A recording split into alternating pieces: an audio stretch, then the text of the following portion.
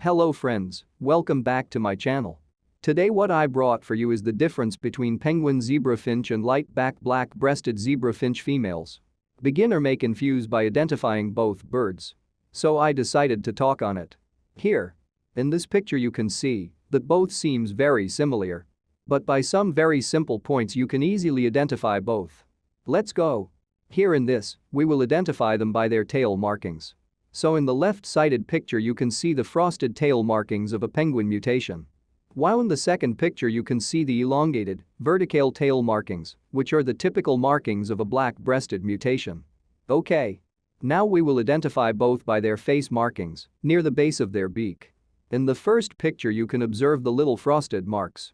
In some of individuals it might be missing, while in the second picture you can observe the marks near the base of its beak in black-breasted mutation. So here were these simple points to differ between both. Thanks for watching. Be updated by pressing the bell icon and by subscribing the channel. Have a good day.